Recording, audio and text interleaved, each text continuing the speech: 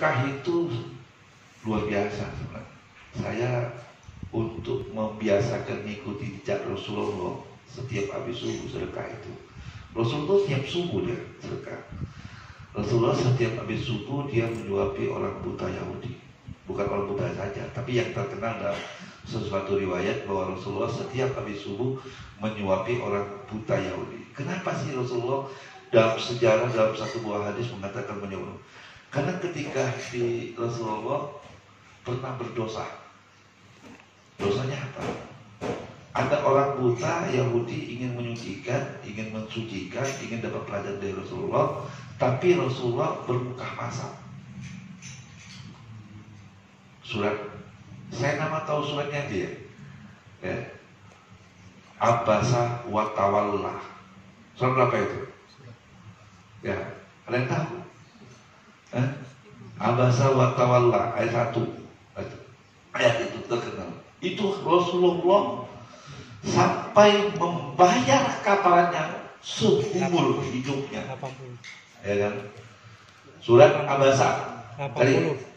surat Abasa. 80. Ah, 80 ayat 1. Nah, ini ayat. Inilah ayat Rasulullah sampai dia bayar kaparannya seumur hidupnya. Inti kalau bersedekah pasti minta balasan. Inti kalau bersedekah untuk ngampun dosa. Dosa Rasulullah satu kesalahan saja dia lakukan seumur hidupnya. Maka Rasulullah setiap habis subuh dia melakukan menyuapi orang buta Yahudi dan orang-orang lain. Tapi yang lebih terkenal di dalam riwayat Rasulullah menyuapi orang buta Yahudi. Ini kesalahan Rasulullah, ya kan? Baca kan? Bismillahirrahmanirrahim. Abasa wa tawalla. Dia Muhammad bermuka masam dan berpaling. tahu berbuka masal. Gimana kita berbuka masal? Tidak baca berbuka masal. Aki kota. Kita kan tahu. Orang berasa caluk dengan kita. Kita ada caluk. Ini. Ketawa masal. Bukan kita masal. Ah. Ya. Tapi kalau kita bersedekah berbuka masal apa senyum? Senyum. Rasulullah diminta oleh oleh orang buta Yahudi untuk mensedekahkan karena Rasul itu bukan diwayat bukan diberi harta ya. Tapi Rasulullah dititip wahyu dibit dititip wahyu oleh Allah dan itulah yang disedekahkan. Maka disebut siddiq atau musaddiqo membenarkan. Sodako itu dari mana sodako yus sodako itu artinya membenarkan nah Rasulullah dititip harta dititip bukan dititip harta tapi dititip ilmu atau wah, wahyu. Bagaimana cara menyampaikannya? Mensedekahkan. Nanti tak kasih. Sebenarnya tinggi sedekah itu wahyu sebenarnya. Ya. Nah, gimana Ustaz? Aku nggak bisa menyampaikan ayat ngajarkan orang. Ibu dititip apa oleh Tuhan? Selain dua tangan dua kaki. Ah, tapi saya dititip harta Ustaz. Itulah yang kamu benarkan bentuk sedekahnya. Dia kasih berbuka masa. Lanjutkan. Apa sobat tawala? Lanjutkan. Terus? Anja'ahul a'ma. Karena telah datang seorang buta kepadanya. Datang seorang buta kepada Rasulullah. Rasulullah berbuka masa. Eh, orang buta. Tapi berbuka. Tapi Rasulullah berbuka mah masa. Hati-hati ya. Ini simbol butanya apa? Ya kan? Orang buta aja. Terus. Wama yuzrika la'allahu yatazakka. Tahukah kamu barangkali ia ingin membersihkan dirinya dari dosa? Tahu nggak ya Muhammad bahwa orang buta tadi, kau kok buka masa orang yang buta tadi, ingin membersihkan dan mempelajari. Ya, la'allahu yatazakka mensucikan. Jadi menyucikan itu ada dua, ada menyucikan lewat harta, ada menyucikan lewat wahyu. Lanjutkan terus. Au yazakkar fatanfa'ahu dzikra. Atau dia ingin mendapatkan pengajaran, lalu pengajaran itu memberi manfaat kepadanya. Orang buta tadi mungkin dia dia ingin menyucikan, tapi ingin dapat pelajaran darimu ya Rasulullah. Kenapa bukan masa? Maka kalau ada murid, ada orang siapa pun datang ke kita ingin mengetahui rahasia wahyu, jangan merengkuh. Ah, dia udah datang ke duit, apa Mungkin saya pun sering. Ada anak SMA, saya nggak kenal, datang ke rumah saya. Assalamualaikum. Waalaikumsalam. Saya lagi tidur tidur siang. Tidur siang dibangunin oleh caca ada ada ada anak tuh. Udah siapa sih bilang? Saya ingat ayat ini. Abah sahwa Langsung saya bangun. Ya Allah, kamu ini siapa sih bilang? Saya ini disuruh bapak saya untuk ke rumah Ustaz Ustaz. Memang kamu tahu dengan saya? Bapak saya tahu. Saya pernah lihat Ustaz Polan ngaji di Talang Putri. Jadi bapak saya bilang, kamu pergilah tempat Ustaz Polan minta kerjaan. Wah, minta kerjaan bu. Eh, nanti beritahu orangnya ada. Ya, waktu itu dua orang di taman SMA baru satu tahun. Gini aja saya bilang, ya, kamu mau kerja? Iya, iya cak. Ya sudah, kerja ini. Saya panggil dulu, deh, sini, ajak udah dikerja. Tahu.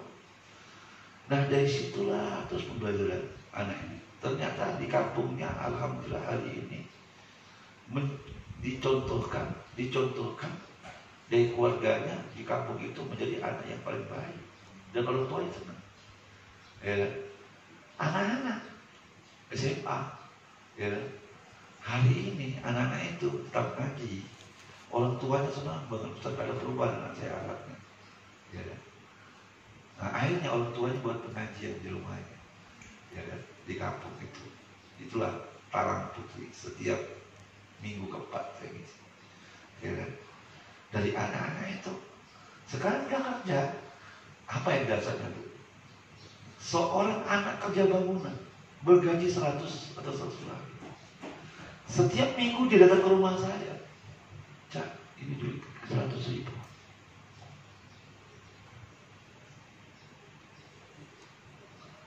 Itu namanya imam. Ada lagi rezeki, dia kerja juga. Di bangunan. Saya malu kayak kapal saya, anaknya kayak bangunan. Apa salah saya? Apa saya salah ya ngapain sedekah kepada anak ini? Tapi saya tolak, saya juga kemasak. Saya ambil aja. Ya. Si Chandra itu gajinya honor bagi kebakaran. Ya gaji honor paling sejuta lima ratus ya. ya. Saya bilang uang itu potong untuk ibu bapakmu. Ya, dipotong. Mereka lakukan itu. Setiap bulan mereka mengeluarkan uang dari gaji honornya. Ya, Dan ini contoh dari atasan Quran. Ya. Maka saya kumpul dengan teman-teman dan anak Saya bilang, saya ini kaya. Kaya mana Ustaz? Nah, kaya saya apa? Saya kumpul uang. Uang di ATM saya banyak. Ya. Itu kumpul. Karena yang saya cetak bukan orang yang bersedekah. Tapi yang saya cetak bagaimana melepaskan budak, budak rohani. Itu paling penting. Ya, budak rohani. Maka biar ada kegiatan, kefrajian, saya mulai dengan sedekah dalam berapa bulan ini. Hari Kamis sore sedekah, Jumat malam sedekah, Minggu subuh saya sedekah. Saya ajak teman-teman. Saya kumpulkan teman-teman, belikan yang saudara, saya suruh di mobil. Saya mengajarkan mereka. Maka subuh tadi pulang jam 7 kan. Jadi eh, enak sedekah dia. Eh, kalau sedekah kan dari malam. Subuh jam berapa? Jam 4 ya. Tapi waktu saya pulang dari misi dari itu itu jam 12 si Denny mau nunggu sedekah subuh eh, berapa jam nunggu sedekah subuh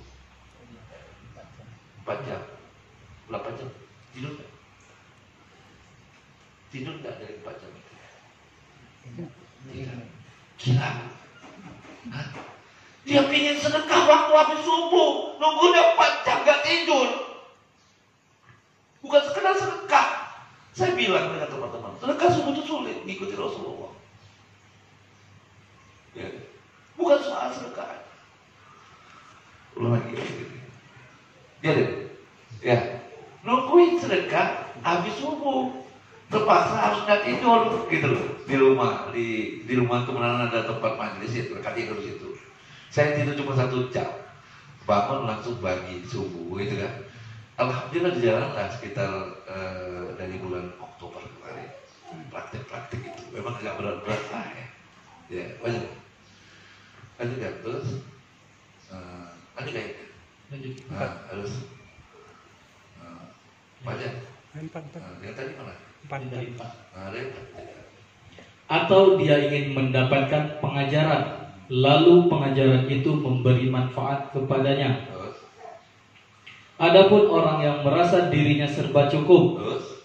maka kamu melayaninya. Jadi Rasulullah melayani orang kaya. Ada orang buta minta pelajaran, ingin menyucikan dirinya, ingin dapat pelajaran. Ada tamu orang kaya, dia ngakuin. Ketika dengan orang miskin, orang susah, orang yang gak berilmu, dia buka masuk. Itulah kesalahan Rasulullah. Bagaimana Rasulullah membalasnya? Maka Rasulullah membalasnya itu sampai memilih kepada Abu Bakar. Cari itu orang, gak ketemu lagi. Itulah Hidir. Apa? Hidir. Jangan kamu kata Hidir itu di Musa saja, di Muhammad Hidir juga. Yang dites oleh oleh si Hidir. Yahudi buta tadi itu Hidir. Hada dan tiada. Orang yang mengujinya. Muhammad mampu melalui Jibril.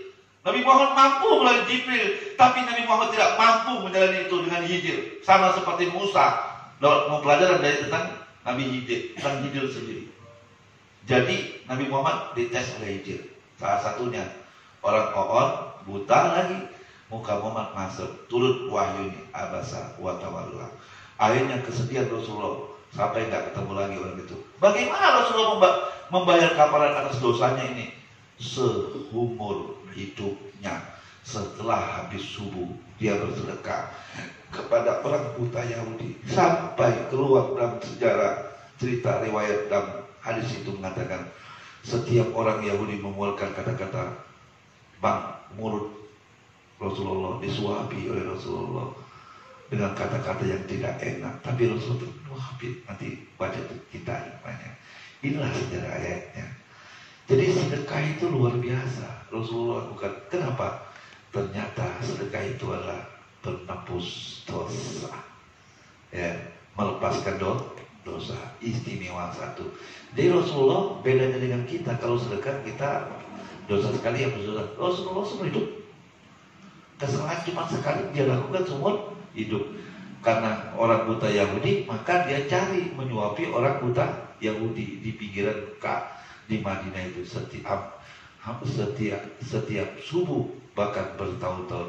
Apa yang disuapi sepotong roti. Itu yang Rasulullah. Sepotong roti yang haknya dimakan. Roti itu yang untuk Rasulullah makan. Ya kan?